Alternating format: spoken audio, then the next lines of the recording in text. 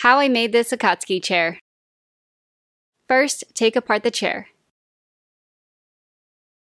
I found this Akatsuki cloak from the thrift store and cut out two pieces for the back cover of the chair. Then sew it together. Slide the cover back onto the cushion and I hand sew the opening closed.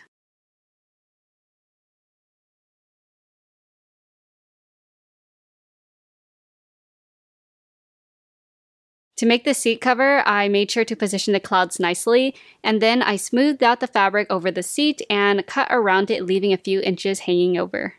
Next, I folded the edges over to the underside and stapled it down. To cover up the raw edges, I'm recycling this reusable tote bag and traced the bottom of the seat onto it and cut it out.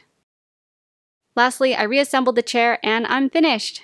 This was the first reupholstery project I've ever done, and I'm so proud of how it turned out. Like and follow for